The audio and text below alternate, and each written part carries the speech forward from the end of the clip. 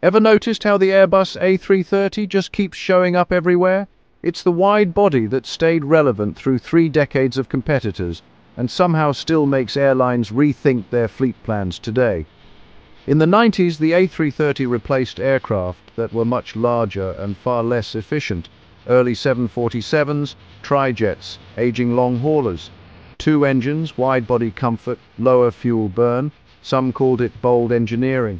Others said it made long haul too efficient. Most aircraft peak and plateau. The A330 kept improving. Higher MTOWs, upgraded avionics, aerodynamic refinements, extended ETOPS. Every update made it harder for airlines to justify replacing it. Then Airbus rebuilt it again, the A330neo. Trent 7000 engines, A350 inspired wing upgrades, new sharklets, modern systems. A refreshed aircraft that suddenly competes directly with the 787. Passengers notice the comfort too. Quiet cabins, smooth ride, and wide body space on routes that can't support a larger jet. So is the A330 Neo still the smartest value wide body in the world?